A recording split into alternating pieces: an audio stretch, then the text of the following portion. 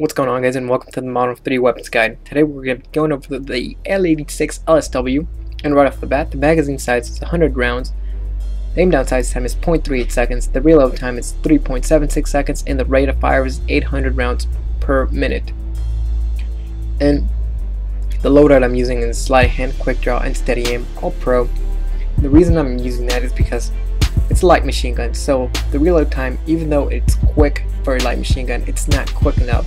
So I'm going to use um, of Hand, and Sleight of Hand Pro lets you switch between your primary and your secondary weapons a lot faster and as you're going to see in a few minutes or a few seconds I do have Akimbo Scorpions which is my recommendation for any loadout.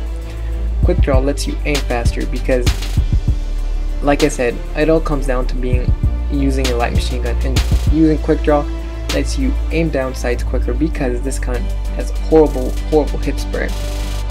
And that is also why I'm using steady aim. And steady aim it's really for the Akimbo Scorpions but you can also uh, try to hip spray with this weapon but it's not quite quite as effective. This gun is also unlocked at level 4 and it does Eh, it, it's not the best weapon for damage, but the rate of fire makes up for it. It is a 3-shot kill up close and a 5-shot kill at range, making medium range your best friend, uh, making this gun effective.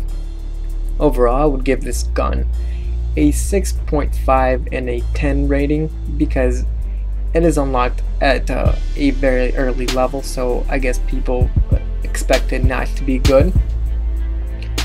But I mean, overall, you can use whatever you want on the gun. It's uh, it all comes down to your choice. But I like to using the red dot. But anyway, guys, that's about it. And if you like the video, you can thumbs it up. And if you like me, you can subscribe. This was a brand new thing, so uh, it looks a little, little weird. But anyways, I'm gonna sign out.